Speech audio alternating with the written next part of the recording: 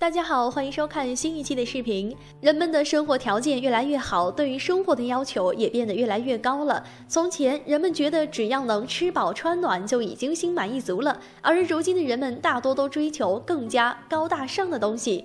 房子要买在城里，东西要买奢侈品，就连吃饭都得去高档的饭店。人们追求美好是理所当然的，但是在美国却有这样一对夫妇，偏偏不走寻常路。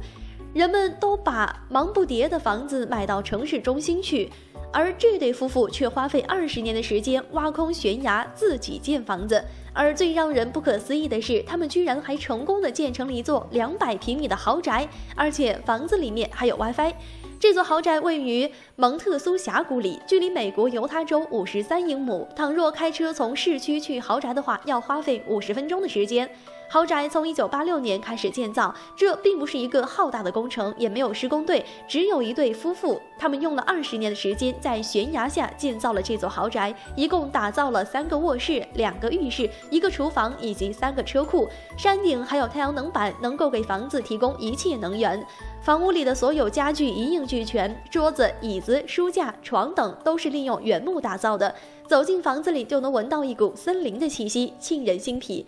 最有意思的是，屋子里还有 WiFi，虽然与世隔绝，但是因为有网络的存在，居住在这座豪宅里面依然能够通晓外面的世界。走出豪宅就能闻到果实的飘香。这对夫妇在房屋的四周种了果树，有苹果树、梨树，金秋时节硕果累累。这样的世外桃源真是令人无比向往。如果是你，你愿意摒弃城市的美好，去荒无人烟处寻求自己的理想乡吗？